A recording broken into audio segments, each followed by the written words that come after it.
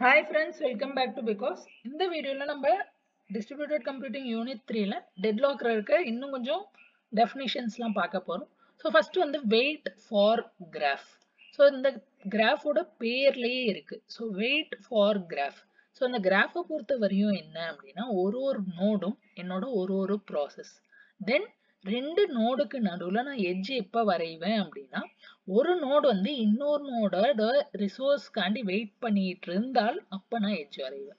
So நம்ம deadlock previous வீடியோவில் இன்ட்ரோடக்ஷனில் பார்த்தோம். ஒரு யூசர் ஏ இருக்காரு யூசர் பி இருக்காரு. ரெண்டு பேருக்கும் மைக்கும் ஸ்பீக்கரும் தேவை. யூசர் ஏ கிட்ட மைக் மட்டும் கிடச்சிருச்சு இவருக்கு ஸ்பீக்கர் தேவை. யூசர் பி கிட்ட ஸ்பீக்கர் மட்டும் கிடச்சிருச்சு மைக் தேவை. அப்போ இந்த பேசிக் சினாரியோவில் இதோட வெயிட் ஃபார் கிராஃப் எப்படி இருக்குன்னு பார்த்தீங்கன்னா இப்போ யூசர் ஏ வந்து என்னோட ஒரு நோட் ஒரு ப்ராசஸ் இது இப்போ யாருக்காண்டி வெயிட் பண்ணுது? ஸ்பீக்கருக்காண்டி வெயிட் பண்ணுது. ஸ்பீக்கருங்கிற ரிசோர்ஸ் யார்கிட்ட இருக்கு? யூசர் பி கிட்ட இருக்கு. அப்போ நம்ம என்ன பண்ணோம்னா யூசர் ஏலேருந்து யூசர் பிக்கு ஒரு டைரக்டட் எட்ஜ் இதோட அர்த்தம் என்னன்னா user A is waiting for a resource which user B is having okay மறைஞ்சாச்சு இப்போ நெக்ஸ்ட் இங்கே பாருங்க. யூசர் பி யாருக்காண்டி வெயிட் பண்ணுறா யூசர் ஏ கிட்டேருந்து மைக்குக்காண்டி வெயிட் பண்ணுறாரு அகெயின் யூசர் பி கிட்டேருந்து யூசர் ஏக்கு ஒரு டைரக்டட் எட்ஜ் இந்த எட்ஜோட அர்த்தம் என்ன? User B is waiting for a resource which user A is having so இந்த சிம்பிள் கேஸில் நமக்கு ரெண்டே ரெண்டு நோடு தான் இருந்துச்சு. இந்த ரெண்டு நோட்லேயுமே இவர் இவருக்காண்டி வெயிட் பண்ணுறாரு இவர் இவருக்காண்டி வெயிட் பண்ணுறாரு ஸோ இந்த ரெண்டு நோடு உள்ள எக்ஸாம்பிளுக்கான வெயிட் ஃபார் கிராஃப் இதான். தென் நம்ம வெயிட் ஃபார் கிராஃப்ல இருந்து என்ன கண்டுபிடிப்போம்னா வெயிட் ஃபார் கிராஃப்ல ஏதோ ரெண்டு நோடுக்கு நடுவுல ஒரு சைக்கிள் ஃபார்ம் ஆகுது சைக்கிள்னா என்ன ஃப்ரெண்ட்ஸ் அர்த்தம்? ஒரு கிராஃப்ல நான் ஒரு பாயிண்ட்ல ஸ்டார்ட் பண்றேன். வேற எங்கெல்லாமோ போறேன் எங்கெல்லாமோ போறேன் திரும்ப அதே பாயிண்ட்டுக்கு என்னால வர முடிஞ்சா அதை நம்ம சைக்கிள்னு சொல்லுவோம். ஸோ இப்போ இந்த சிம்பிள் எக்ஸாம்பிள்ல பாருங்க. யூசர் ஏ கிட்ட இருந்து ஆரம்பிக்கிறேன் இப்படியே போறேன் இப்படியே போறேன் இப்படியே போறேன். யூசர் பிக்கு வந்தேன். அங்கேருந்து இப்படியே வரேன் இப்படியே வரேன். திரும்ப ஆரம்பிச்ச இடத்துக்கே வந்துட்டேன்.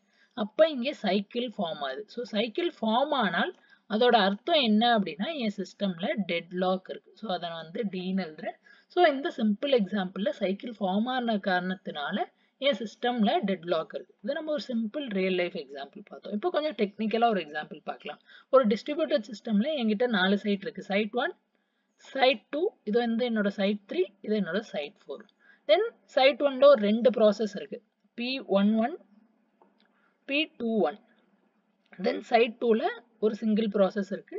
சைட் த்ரீல சிங்கிள் ப்ராசஸ் சைட் ஃபோரில் ஒரு மூணு ப்ராசஸ் இருக்கு.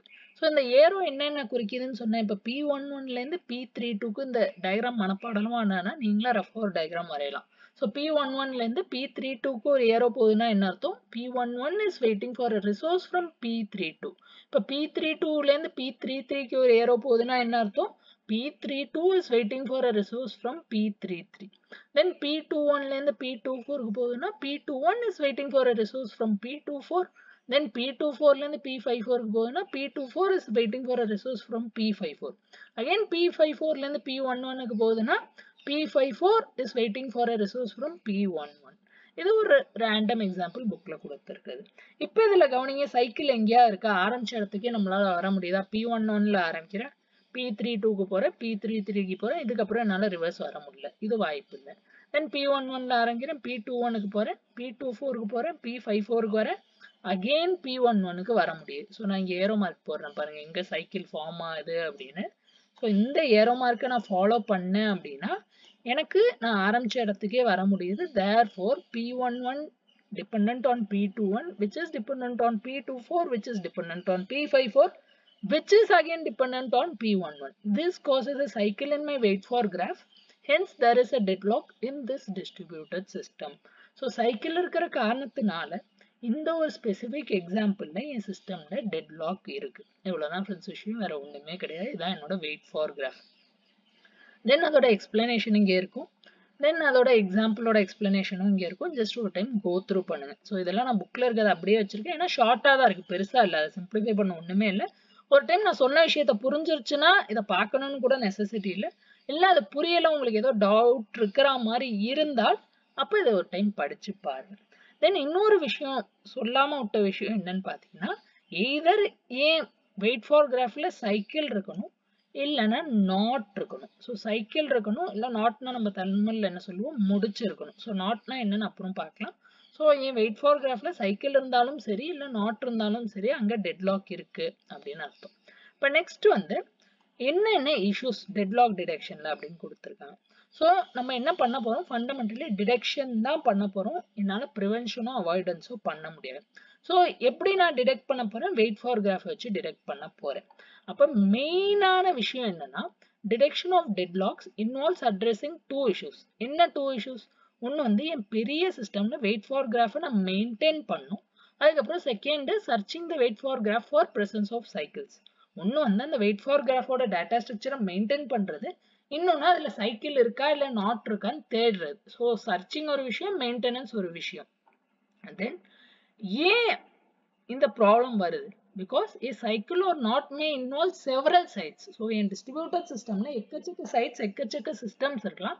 அதனால நான் பண்ற சர்ச் வந்து எந்த அளவுக்கு எவ்வளோ எஃபிஷியண்டா நம்ம கிரேட் ஃபார் கிராஃபை ரெப்ரசென்ட் பண்ணியிருக்கோங்கிறத பேஸ் பண்ணியிருக்கு நீங்க யோசிச்சு பாருங்க ஒரு டிஸ்ட்ரிபியூட்டட் சிஸ்டம்ல ஒரு பத்தாயிரம் சிஸ்டம் இருக்கு அப்படின்னா அங்க அந்த அல்காரத்தமே ரொம்ப எஃபிஷியண்டா இருக்கணும். தென் என் அல்காரத்தம் நான் ஒன்று யூஸ் பண்ணுறேன் டெட்லாக் டிடெக்ஷனுக்குன்னா அதை கரெக்டுன்னு நான் எப்போ சொல்லுவேன்னா ரெண்டு விஷயம் முக்கியமாக இருக்கணும். ஒன்று வந்து ப்ராக்ரஸ் ப்ராக்ரஸ் சிம்பிள் டேர்ம்ஸில் என்ன சொல்லலாம்னா நோ அன்டிடெக்டட் டெட்லாக்ஸ் ரொம்ப ரொம்ப சிம்பிள் கீ பாயிண்ட்ஸ் தான் ஃப்ரெண்ட்ஸ் அப்படின்னா என்ன? ஒரு சிஸ்டம்ல டெட்லாக் இருந்தால் கண்டிப்பாக அது கண்டுபிடிக்கணும். ஏதோ ஒன்று மிஸ் ஆயிடுச்சு சார் நம்ம வழக்கமாக காலேஜில் சொல்ற மாதிரி இது மிஸ் ஆயிடுச்சு அதை நான் விட்டுட்டேன் அதை கண்டுபிடிக்க முடியல இது தவறிடுச்சு அப்படிலாம் சொல்லக்கூடாது. The algorithm must detect all existing deadlocks in a finite time இதுவும் ரொம்ப ரொம்ப முக்கியமான விஷயம். ஒரு ஒரு டெட்லாக் கண்டுபிடிக்கிறதோ ஒரு ஒரு வருஷம் கழிச்சா ரிசல்ட் தரும்னா அதுவும் ஃபீஸிபிள் கிடையாது. ஸோ அந்த அல்கோரத்தம் வந்து என்னென்ன டெட்லாக் இருக்கோ அதை வந்து ஃபினைட் டைம்ல கண்டுபிடிக்கணும். ஸோ அதை இன் அதர் வேர்ட்ஸ் என்ன சொல்றாங்க அப்படின்னா once deadlock is hacked the deadlock detection activity should continuously progress until the deadlock is detected that is ஒரு சிஸ்டம்ல டெட்லாக் நடந்துட்டால் அந்த டெட்லாக் கண்டுபிடிக்கிற வரையும் என் அல்கோரத்தம் கரெக்டாக ட்ராக் பண்ணி எனக்கு கண்டுபிடிச்சு சொல்லிடணும். இது ரொம்ப ரொம்ப முக்கியமான விஷயம். தென் செகண்ட் பாயிண்ட் பார்த்தோம்னா சேஃப்டி சேஃப்டினா என்ன நோ ஃபால்ஸ் டெட்லாக்ஸ் இப்படின்னா என்ன? என் சிஸ்டம்ல டெட்லாக்கே இல்லை. ஆனால் இது வந்து டெட்லாக் இருக்குது அப்படின்னு சொல்லுது. ஸோ இதுக்கான வாய்ப்பு என்ன ஃப்ரெண்ட்ஸ் இதுக்கான வாய்ப்பு என்ன அப்படின்னு பார்த்தோம்னா நம்ம டிஸ்ட்ரிபியூட்டட் சிஸ்டம்ல என்ன சொன்னோம்? குளோபல் மெமரி கிடையாது குளோபல் கிளாக் கிடையாது. எப்படி பேசிக்கிற சிஸ்டம்னா மெசேஜ் பாசிங் இல்லையா? அப்போ ஒரு சிஸ்டம்லேருந்து இன்னொரு சிஸ்டம்க்கு பாஸ் பண்ணணும் இன்னொன்னுலேருந்து இன்னொன்றுக்கு இந்த மாதிரி ஆயிரம் சிஸ்டம்க்கு நடுவில் நான் பாஸ் பண்ணும்போது அந்த மெசேஜ் பாசிங்கில் டிலே வரலாம். இன்கன்சிஸ்டன்சி வரலாம். ஸோ இந்த மாதிரிலாம் வரும்போது ஃபால்ஸ் டெட்லாக்ஸ் தட் இஸ் டெட்லாக்கே இல்லை. சே ஃபார் எக்ஸாம்பிள் இப்போ என்கிட்ட இங்கே ஒரு ப்ராசஸ் இருக்குது இங்கே ஒரு ப்ராசஸ் இருக்குது இங்கே ஒரு ப்ராசஸ் இருக்குதுன்னு வச்சுக்கோங்களேன். நான் ஏதோ ஒரு சிஸ்டம்ல வந்து டெட்லாக் டிடெக்ட் பண்ணுறேன் அப்போ என்கிட்ட ஃபஸ்ட்டு இப்படி இருக்குது இது இது மேலே டிபெண்ட் பண்ணுது. இது இது மேலே டிபெண்ட் பண்ணுது. தென் இது இது மேலே டிபெண்ட் பண்ணுச்சு. ஆனால் இப்போ கரண்ட்டாக அட் திஸ் இன்ஸ்டன்ட் இல்லை. இது வந்து ஒரு ரெண்டு மணி நேரம் முன்னாடி. ஒரு ரெண்டு மணி நேரம் முன்னாடி டிபெண்ட் பண்ணுச்சு. அந்த நெட்ஒர்க்கில் இருக்கிற டிலேனால இப்போ இந்த ப்ராசஸும் இது மேலே டிபெண்ட் பண்ணுது நான் இந்த பாயிண்ட்ல அசியூம் பண்ணிட்டு டெட்லாக் இருக்குன்னு சொல்லிடுறேன். இதான் ஃபால்ஸ் டெட்லாக்ஸ் ஒரு ஃபேண்டம் டெட்லாக்ஸ்னு சொல்லுவோம் the this algorithm should not report deadlocks that do not exist so ஏன் இந்த ப்ராப்ளம் வருது? ஏன்னா நம்ம குளோபல் மெமரியோ குளோபல் கிளாக்கோ கிடையாது. ஸோ அதனால இன்கன்சிஸ்டன்ட் டேட்டா கிடைக்கும். ஸோ அதனால இல்லாத சைக்கிள் இருக்கிற மாதிரி கூட தெரியும். ஸோ இது பாயிண்ட் நம்பர் டூ நெக்ஸ்ட் வந்து டெட்லாக் நமக்கு தெரிஞ்சிருச்சு. டெட்லாக்கை ரிசால்வ் பண்ண என்ன பண்ணும்?